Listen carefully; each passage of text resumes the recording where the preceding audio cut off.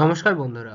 ওয়েলের মাধ্যমে আজকে আমরা বায়োলজি বা জীবন বিজ্ঞানের একটি অত্যন্ত গুরুত্বপূর্ণ বিষয়, কোষ বিভাজন এবং কোষ চক্র সম্পর্কে জানব। ভিডিওর প্রথম অংশ, যেখানে আমরা কোষ বিভাজন সম্পর্কে আলোচনা করেছি, এখন আমরা ভিডিওর দ্বিতীয় অংশ অর্থাৎ কোষ চক্র নিয়ে আলোচনা করব। এবারে আমরা জেনে নেব কোষ বিভাজন অংশে আমরা কি কি শিখেছিলাম। সংক্ষেপে একবার পুরোটা আমরা জেনে নেব। আমরা প্রথমেই দেখেছিলাম কীভাবে ক্রোমোজোম এবং জিন একে অপরের সাথে সম্পর্কিত। এছাড়া আমরা জেনেছিলাম ক্রোমোজোম দুই রকমের হয়, অটোজোম ও সেক্স ক্রোমোজোম। এছাড়া ক্রোমোজোম সেন্ট্রোমিয়ার, ক্রোমাটিড কাইনেটোকোর ও বিভিন্ন রাসায়নিক উপাদান যেমন প্রোটিন, নিউক্লিক অ্যাসিড দিয়ে গঠিত হয়। এছাড়া আমরা দেখেছিলাম কোষ বিভাজনের নিউক্লিয়াস, সেন্ট্রোজোম, রাইবোজোম, মাইটোকন্ড্রিয়া সহ বিভিন্ন কোষীয় অঙ্গাণুর ভূমিকা। এছাড়া আমরা তিন প্রকার কোষ বিভাজনও দেখেছিলাম, অ্যামাইটোসিস, মাইটোসিস ও মিওসিস আজকে আমরা জানব কোষচক্র কি? কোষচক্রের বিভিন্ন পর্যায় সম্পর্কে, যেমন ইন্টারফেস এবং মাইটোটিক ফেজ সম্পর্কে। এছাড়া মাইটোসিস কোষ বিভাজন সম্পর্কে আমরা বিশদে জানব। মাইটোসিসের বিভিন্ন দশা সম্পর্কে জানব। প্রফেজ মেটাফেজ অ্যানাফেজ টেলোফেজ এই দশাগুলি কি? এগুলো সম্পর্কে আমরা জানব। এবং সাইটোকাইনেসিস কীভাবে সম্পাদন হয়, তাও আমরা জানব। এবং সেই সাথে আমরা মিওসিস কোষ বিভাজনের দুটি পর্ব মিওসিস ওয়ান এবং মিওসিস টু সম্পর্কে জানব এবং এই কোষ চক্রের ভূমিকা বা তাৎপর্য সম্পর্কে আমরা জানব। প্রতিটি জীবের মতোই প্রতিটি কোষেরও জীবনচক্র রয়েছে। কোষের এই জীবনচক্র, বিভাজন ও অবিভাজন এই দুটি ঘটনার মধ্যে আবর্তিত হতে থাকে। জনিত্রী কোষের বিভাজনের মধ্য দিয়ে অপত্য কোষ সৃষ্টি হয় এবং অপত্য কোষের মৃত্যুর পর তার জীবনাবসান হয়। কোষের সত্তা অর্জন ও বিলোপ যেহেতু কোষ বিভাজন দ্বারা ঘটে, সেহেতু একে কোষচক্র বা সেল সাইকেল বলে। অর্থাৎ এক কথায়, কোষের বৃদ্ধি ও বিভাজনের বিভিন্ন দশার চক্রাবর্ত আবর্তনকেই কোষচক্র বলে? এবারে আমরা জানব কোষচক্রের বিভিন্ন পর্যায় সম্পর্কে। কোষচক্রের প্রধান দুটি পর্যায় হলো ইন্টারফেস এবং মাইটোটিক ফেজ প্রথমে আমরা জানব ইন্টারফেস সম্পর্কে। এই পর্যায়ে কোষ বিভাজন ঘটে না। এই সময় বিভাজনের প্রস্তুতি পর্ব চলে। এই সময় ডিএনএ আরএনএ ও প্রোটিন সংশ্লেষণের কাজ সংগঠিত হয়। ইন্টারফেসে তিনটি দশা দেখা যায় জি ওয়ান জি টু এবং এস দশা। জি ওয়ান দশায় আরএনএ ও প্রোটিন সংশ্লেষণ ঘটে। এস দশায় ডিএনএ সংশ্লেষণ ঘটে এবং জি টু দশায় চরম বিপাকীয় সক্রিয়তা দেখা যায়। ইন্টারফেস দশা শেষ হলে মাইটোটিক ফেজ অর্থাৎ বিভাজন দশা শুরু হয়। এই, এটি চারটি দশায় বিভক্ত, যথা প্রোফেজ মেটাফেজ অ্যানাফেজ এবং টেলোফেজ দশা। এবারে আমরা জানব মাইটোসিস কোষ বিভাজন সম্পর্কে। বেম গঠনে তারতম্য ছাড়া উদ্ভিদ ও প্রাণী মাইটোসিস প্রক্রিয়া মূলত একই। মাইটোসিস প্রক্রিয়ায় একটি মাতৃকোষের প্রথমে নিউক্লিয়াসের বিভাজন ঘটে এবং পরে সাইটোপ্লাজমের বিভাজন ঘটে দুটি অপত্য কোষ সৃষ্টি হয়। নিউক্লিয়াসের বিভাজন পদ্ধতিকে ক্যারিওকাইনেসিস এবং সাইটোপ্লাজমের বিভাজন পদ্ধতিকে সাইটোকাইনেসিস বলে। ক্যারিওকাইনেসিসের প্রধানত চারটি দশা দেখা যায় যথা প্রোফেজ, মেটাফেজ, অ্যানাফেজ এবং টেলোফেজ। প্রফেজ শুরুর পূর্ববর্তী দশায় নিউক্লিয়াসটি স্থির অবস্থায় থাকে এবং ওই সময় ডিএনএ, আরএনএ ও প্রোটিন সংশ্লেষ সম্পন্ন হয়। এই স্থির দশাকেই ইন্টারফেজ বলে। ইন্টারফেস প্রকৃতপক্ষে দুটি কোষ বিভাজনের অন্তর্বর্তী দশা। এবারে আমরা জানব প্রফেজ দশা সম্পর্কে। এটি নিউক্লিয়াস বিভাজনের প্রথম ও দীর্ঘস্থায়ী দশা। এই দশার বৈশিষ্ট্যগুলি হলো, এই দশায় ক্রোমাটিন সূত্রগুলি জল বিয়োজন ঘটিয়ে ধীরে ধীরে স্পষ্ট হতে থাকে। ক্রোমাটিন সূত্রগুলি কুণ্ডলীকৃত হয়ে ক্রমশ ছোট ও মোটা হয় এবং নির্দিষ্ট সংখ্যক ক্রোমোজোম সৃষ্টি করে। প্রতিটি ক্রোমোজোম সেন্ট্রোমিয়ার অঞ্চল ছাড়া লম্বালম্বিভাবে বিভাজিত হয়ে দুটি করে ক্রোমাটিড গঠন করে। ক্রোমাটিডদ্বয় পরস্পর সেন্ট্রোমিয়ার অঞ্চলে সংলগ্ন থাকে। প্রতিটি ক্রোমোজোমের ক্রোমাটিডদ্বয় পরস্পরকে নিবিড়ভাবে পেঁচিয়ে অবস্থান করে। পেঁচানো অবস্থাকে প্লেটোনমিক কুণ্ডলী এবং পেঁচানো পদ্ধতিটিকে স্পাইরাইলাইজেশন বলে। প্রফেজ দশা চলাকালীন নিউক্লিয়াসটি আকারে ক্রমশ ছোট হতে থাকে এবং শেষের দিকে পুরোপুরিভাবে বিলুপ্ত হয়ে যায়। প্রোফেজের শেষের দিকে নিউক্লিয় পর্দার বিলুপ্তি ঘটে। প্রাণীদের ক্ষেত্রে সেন্ট্রোজোমের সেন্ট্রিওল দুভাগে বিভক্ত হয়ে দুটি সেন্ট্রিওল গঠন করে এবং নিউক্লিয়াসের দুই বিপরীত মেরুতে অবস্থান করে। নতুন সেন্ট্রিওলটিকে ঘিরে অ্যাস্ট্রাল রশ্মির আবির্ভাব ঘটে। উভয় প্রান্তের অ্যাস্ট্রাল রশ্মি পরস্পর জোড়া লেগে বেমতন্তু বা স্পিন্ডেল ফাইবার গঠন করে। এবার জানব মেটাফেজ দশা সম্পর্কে। এটি মাইটোসিস বিভাজনের দ্বিতীয় এবং স্বল্পস্থায়ী দশা। এই দশার উল্লেখযোগ্য বৈশিষ্ট্যগুলি হল, এই দশার শুরুতে নিউক্লিয়াস ও নিউক্লিয় পর্দা সম্পূর্ণভাবে বিলুপ্ত হয়। বেম বা স্পিন্ডেল গঠিত হয়। বেমের উত্তর মেরু থেকে দক্ষিণ মেরু পর্যন্ত বেমতন্তু বা স্পিন্ডেল ফাইবার বিস্তৃত থাকে। যে বেমতন্তুগুলির সঙ্গে ক্রোমোজোম সংলগ্ন থাকে, তাদেরকে ক্রোমোজোমীয় তন্তু বা ক্রোমোজোমাল ফাইবার এবং যে বেমতন্তুগুলি এক মেরু থেকে অপর মেরু পর্যন্ত বিস্তৃত থাকে, তাদেরকে অবিচ্ছিন্ন তন্তু বা কন্টিনিউয়াস ফাইবার বলে। ক্রোমোজোমগুলির বেমের বিষুব অঞ্চলে বা নিরক্ষীয় তলে, অর্থাৎ বেমের মাঝখানে ক্রোমোজোমীয় তন্তুর সঙ্গে সেন্ট্রোমিয়ারের সাথে সংলগ্ন থাকে। প্রাণীকোষের ক্ষেত্রে ছোট ক্রোমোজোমগুলি বেমের পরিধির দিকে এবং অপেক্ষাকৃত বড় ক্রোমোজোমগুলি বেমের কেন্দ্রের দিকে অবস্থান করে। উদ্ভিদ কোষের ক্ষেত্রে ক্রোমোজোমগুলি বেমের বিষুব অঞ্চলের সম্পূর্ণ পরিধিকে ঘিরে অবস্থান করে। প্রাণীকোষের ক্ষেত্রে অ্যাস্ট্রাল রশ্মি এবং উদ্ভিদ কোষের ক্ষেত্রে সাইটোপ্লাজমে অবস্থিত মাইক্রোটিউবিউল প্রেমতন্তু গঠন করে। এবারে আমরা জানব অ্যানাফেজ দশা সম্পর্কে। এটি নিউক্লিয়াস বিভাজনের তৃতীয় এবং সবচেয়ে ক্ষণস্থায়ী দশা।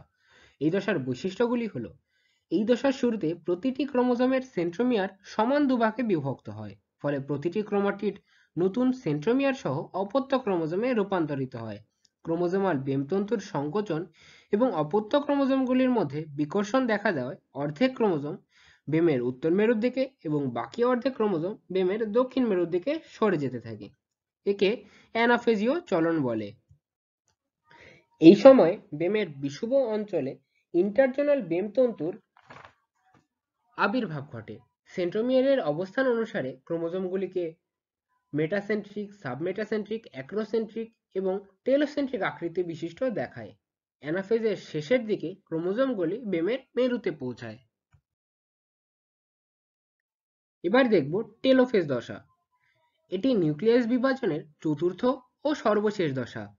এই দশার বৈশিষ্ট্যগুলি হল ক্রোমোজোমগুলির বিপরীত মেরু প্রান্তে পৌঁছানোর পর ক্রোমোজোমের কুণ্ডলী খুলে যেতে থাকে এবং ঘনীভবনও কমে যায়, ফলে অপত্য ক্রোমোজোমগুলি দীর্ঘ ও সরু হয়। বেমতন্তুগুলি বিলুপ্ত হতে থাকে। প্রাণীকোষের বিষুব অঞ্চলে ইন্টারজোনাল তন্তুগুলি স্টেম বডি গঠন করে। উভয় প্রান্তের ক্রোমোজোমগুলিকে ঘিরে নিউক্লিয় পর্দা গঠিত হয়। প্রতিটি নিউক্লিয়াস আবরণীর মধ্যে নিউক্লিয়লাসের আবির্ভাব ঘটে। দীর্ঘ ও সরু ক্রোমোজোমগুলি ধীরে ধীরে নিউক্লিয় জালকে রূপান্তরিত হয়। এই দশা শেষে দুটি অপত্য নিউক্লিয়াস গঠিত হয়। নিউক্লিয়াসের জল শোষণ, প্রসারণ ও নিউক্লিক অ্যাসিডের বিয়োজন ঘটে অপত্য নিউক্লিয়াস দুটি স্ফীত হয়ে পূর্ণাঙ্গ রূপ ধারণ করে। এবার আমরা দেখব সাইটোকাইনেসিস কীভাবে হয়। উদ্ভিদ কোষের ক্ষেত্রে নিউক্লিয়াস বিভাজনের টেলোফিস চলাকালীন বেমের বিষব অঞ্চলের মাঝ বরাবর মাইক্রোফিলামেন্ট নামক সূক্ষ্মতন্তু গুচ্ছাকারে জমা হয়ে ফ্রাগমোপ্লাস্ট গঠন করে, যা গোলগি ভেসিকলের সঙ্গে মিলিত হয়ে কোষপাত বা সেল প্লেট গঠন করে। এই সেল প্লেটের দুপাশে অন্যান্য বস্তু জমা হয়ে ধীরে ধীরে কোষ প্রাচীর গঠিত হয়। ফলে সাইটোপ্লাজম বিভাজিত হয়ে দুটি অপত্য কোষ গঠন করে।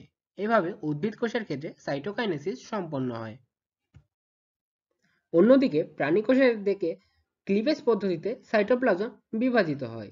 কোষের মাঝ বরাবর অঞ্চলের দুপাশ থেকে কোষ পর্দা সংকুচিত হয়ে একটি ভাঁজ গঠিত হয়।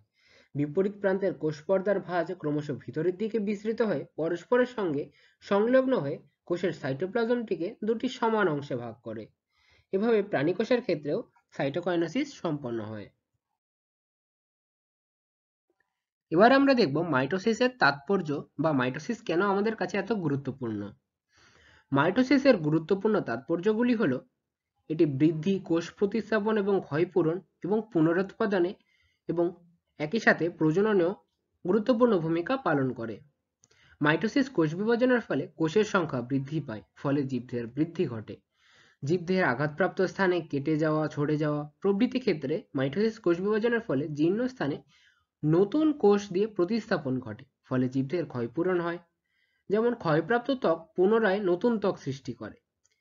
এছাড়া প্রাণীদেহের কোনো অংশের পুনরুৎপাদন ঘটে মাইটোসিস কোষ বিভাজনের ফলে। যেমন কবচী শ্রেণির প্রাণীদের পা, তারা মাছের বাহু, টিকটিকির লেজ, দেহ থেকে বিচ্ছিন্ন হলে তার পুনরুৎপাদন ঘটে। এছাড়া এককোষী জীবেরা মাইটোসিস কোষ বিভাজনের মাধ্যমে অযৌন জনন প্রক্রিয়ায় বংশ বিস্তার করে। এবারে আমরা জানব মিওসিস কোষ বিভাজন সম্পর্কে। তবে তার আগে আমরা সমসমস্ত chromosome, sister chromatid non sister chromatid, bivalent ইত্যাদি কি একটু জেনে নেব। যে আকৃতি জিন সজ্জারীতি সেন্ট্রোমিয়ারের অবস্থান প্রভৃতি বৈশিষ্ট্যের উপর ভিত্তি করে পিতৃ ও মাতৃ ক্রোমোজোম দ্বয়কে সমসমস্ত বা হোমোলোগাস ক্রোমোজোম বলে। জোটবদ্ধ সমসমস্ত ক্রোমোজোম দ্বয়কে আবার বাইভ্যালেন্ট বা ডায়াড বলে। এছাড়া বাইভ্যালেন্টে অবস্থিত সমসমস্ত ক্রোমোজোমের প্রতিটি ক্রোমোজোম থেকে সৃষ্ট ক্রোমাটিড দুটিকে সিস্টার ক্রোমাটিড বলে। আর বাইভ্যালেন্টে অবস্থিত দুটি ভিন্ন সমসমস্ত ক্রোমোজোমের ক্রোমাটিডগুলিকে নন সিস্টার ক্রোমাটিড বলে। এবারে আমরা দেখে নেব মিওসিস ওয়ান দশার বৈশিষ্ট্যগুলি সম্পর্কে। এক্ষেত্রে পিতৃ ও মাতৃ ক্রোমোজোম জোড়ায় জোড়ায় অবস্থান করে। পিতৃ ও মাতৃ ক্রোমোজোম নিয়ে গঠিত জোড়কে বাইভ্যালেন্ট বলে। বাইভ্যালেন্টের ক্রোমোজোমগুলি লম্বালম্বি বিভাজিত হয়ে টেট্রাড গঠন করে। টেট্রাডে একজোড়া সিস্টার ক্রোমাটিড এবং একজোড়া নন সিস্টার ক্রোমাটিড থাকে। সমসমস্ত ক্রোমোজোমের জোড়ার মধ্যে পৃথকীকরণ ঘটে, কিন্তু স্থানে স্থানে তারা পরস্পরের সঙ্গে যুক্ত থাকে। ওই অংশকে কায়াজমা বলে। কায়াজমা অঞ্চলে নন সিস্টার ক্রোমাটিড দ্বয়ের মধ্যে দেহাংশের বিনিময় ঘটে, যেটি ক্রসিং ওভার নামে পরিচিত। মিওসিসের ক্ষেত্রে ক্রোমোজোমের পৃথকীকরণ ঘটে, কিন্তু মাইটোসিসের ক্ষেত্রে ক্রোমাটিডের পৃথকীকরণ ঘটে। এবারে আমরা জানব মিওসিস টু দশা সম্পর্কে। এই দশার প্রারম্ভে হোমোলোগাস ক্রোমোজোম দ্বয়ের ক্রোমাটিডগুলি পরস্পর থেকে পৃথক হয়ে যায় এবং বেমের দুদিকে চলে যায়। মিওসিসে একটি মাতৃকোষ থেকে চারটে অপত্য কোষ সৃষ্টি হয়।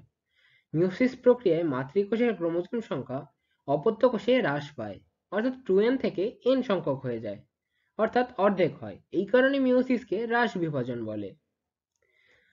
সমসমস্ত ক্রোমোজোমের নন সিস্টার ক্রোমাটিড দ্বয়ের মধ্যে খণ্ডাংশের বিনিময়কেই ক্রসিং ওভার বলে থাকে।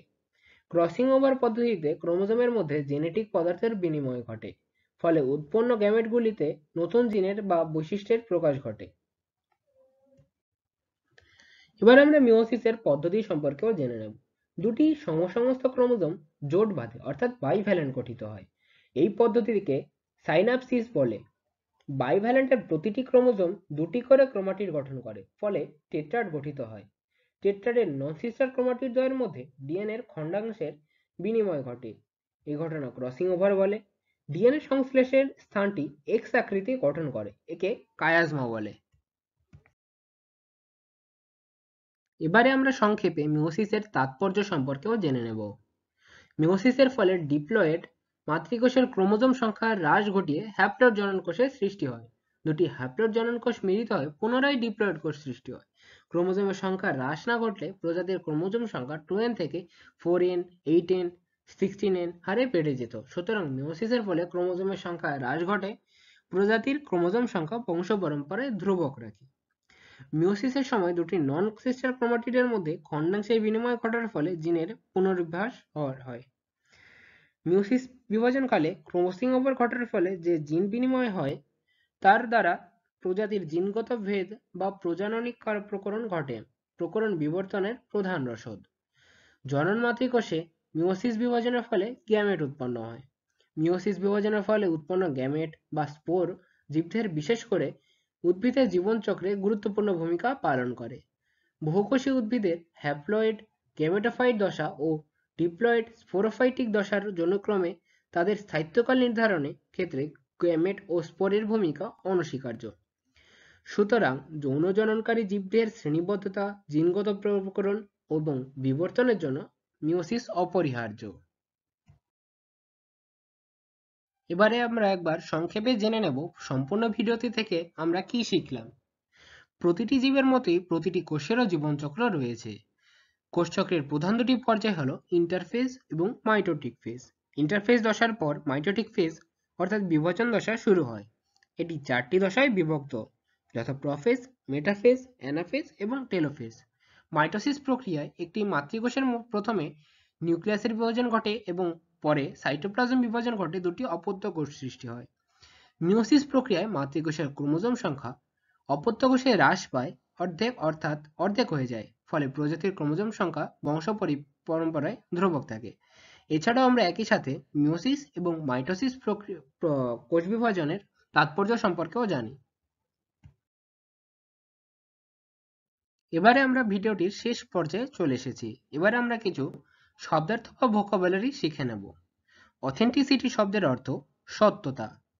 কমেন্স শব্দের অর্থ প্রবর্তিত। ধন্যবাদ বন্ধুরা, ভিডিওটিকে শেষ পর্যন্ত দেখার জন্য।